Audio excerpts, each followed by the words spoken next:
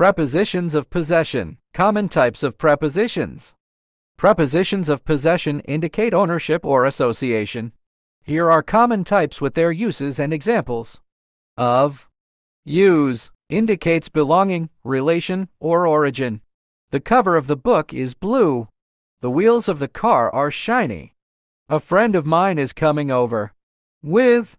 Use indicates association or accompaniment. The house with the red door is mine. She is the one with the curly hair. The car with the broken headlight needs repair. Belonging to. Use indicates possession or ownership.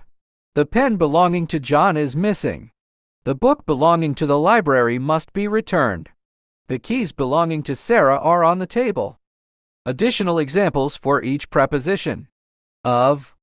The title of the movie is intriguing. The scent of the flowers filled the room. The sound of the music was loud. With. The man with the hat is my uncle. The girl with the blue dress won the contest. Belonging to. The house belonging to my grandparents is old. The rights belonging to the artist are protected. The car belonging to my neighbor is new.